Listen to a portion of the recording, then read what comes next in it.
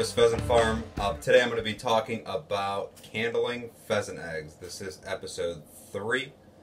I uh, after I store eggs for seven days, I put them in the incubator. Um, I really only candle on the seventh day. Um, usually after the seventh day, I can tell which eggs are fertile, which ones are not. The ones that are not are taken out of the incubator and then they are destroyed. Um, but in this episode, I'm just going to show you the different stages of um, candling pheasant eggs. So I'll show you what an egg looks like when it's not incubated at all compared to what it looks like on the seventh day, and then what it looks like on the 14th day, and then the 21st day before it's put in the hatcher. So I'll show you all those different uh, stages there. All right, now here's a recap on the incubator that I use. I keep the temperature at 100 degrees. Humidity is between anywhere from 45 to 55%. And then during hatch time or lockdown, it's from 55 to 65%. Also with the trays that I have, each shelf would be considered a week on how I incubate. So this is one week, this is two week, and this is three week. So I'll show you the differences now between candling eggs from 7 days, 14 days, and 21 days. Okay, when candling eggs, you want a flashlight that's powerful enough to penetrate through and so you can see the development of inside the egg. There are some eggs that are a little bit darker, which it may be harder, um, but just something to think about when you're getting a candler. Also keep in mind, I know that if you're incubating for the first time, you get really eager and you want to check the development. Wait the six, seven days or so. Don't try to do it on the third or fourth day. There may be development, but you have to kind of relax. And I understand the anticipation of the seventh day. It just takes forever, but trust me, it'll be worth it. All right, so let's start off with an egg that has not been incubated. As you can see, it's clear and obviously no development. Now, an egg that has been in the incubator for seven days, you can see some development. The veins, a little hard to see, but it's there. The air sac is small on the top.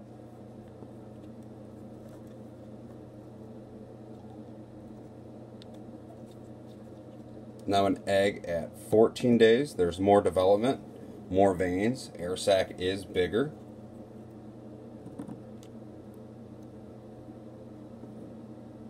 You can actually see them moving in there. And then on the 21st day, the egg, you can see it's fully developed. Um, the air sac is the same size as it, as it is at 14 but this one will be hatching in the next three days. So just to kind of recap here, no development. That ha eh, this has not been incubated yet. This is at seven days. The development of the little veins. The 14th day, more development, bigger air sac,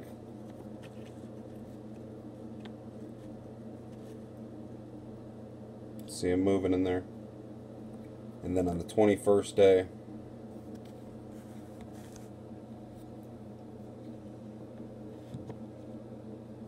you have the bigger air sac in almost full development. So it's got a couple more days though. It's got to position itself and then suck in the yolk.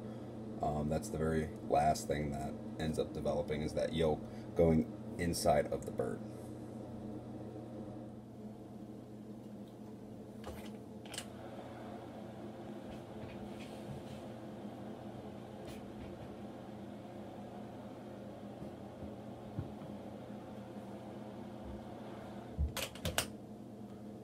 Alright, so every egg will get inspected just to see if there is development. Eggs that aren't developed will go in the, the tray, this one here. The ones that are developed will stay in the blue tray.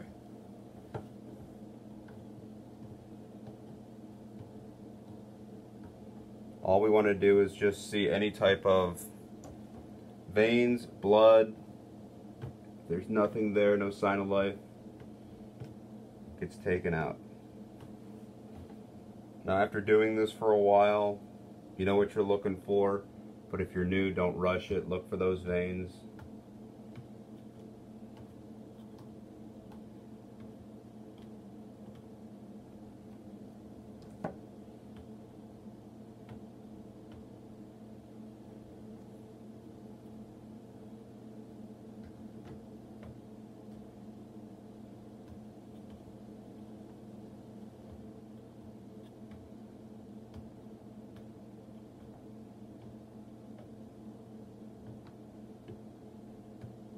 So each one of the trays has 59, and out of the 59, only two of them were not fertile.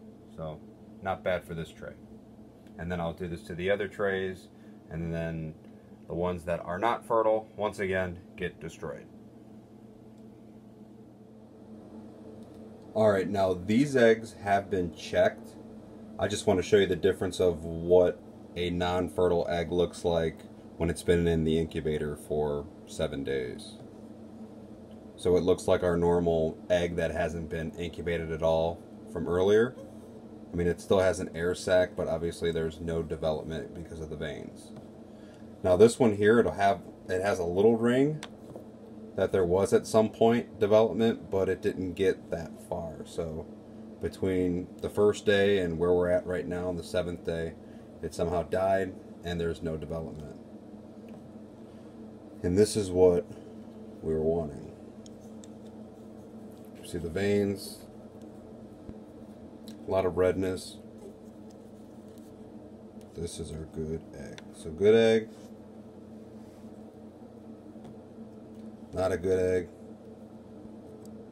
not a good egg. So there you have it. We talked about candling eggs. You saw an egg, what it looks like before incubation. You saw one at 7 days, 14 days, and 21 days of incubation. You also saw eggs of what they look like when they're incubated, when they're not developed or they started development and they died. Um, if you have any questions at all, feel free to comment. Um, don't forget to like this video. Also, if you haven't subscribed, feel free to subscribe. I'll have more videos um, still to come. And then if you have any other questions, feel free to contact us even on our website at shpheasants.com. This is Nicholas Sunrise Harvest Pheasant Farm. Thanks for watching, and I'll see you next time. Take care.